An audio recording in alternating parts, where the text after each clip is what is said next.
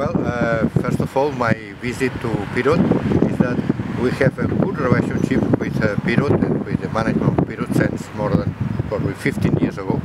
So we have, and uh, I, I, I need to come here to see how they, they develop.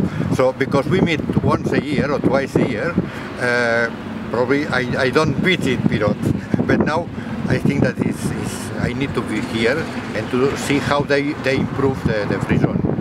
They explain me every time we meet, but now I can see with my, my eyes. Well, uh, for me, Pirot, since many years ago, have been one of the reference as a, as a free zones management. So um, a free zone have to be a facilitator for investments, for investment. So uh, they, they offer to the investors uh, everything they need. So investments in Pirot, they feel uh, comfort and security. Uh, they, they are very well located. So the most important for a, for a free zone is the, a strategic location.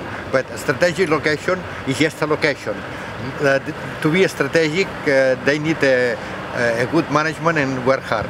So Pirot for me is, I said you is a reference. It's a big, it's, it's not a big free zone, but it's a great free zone.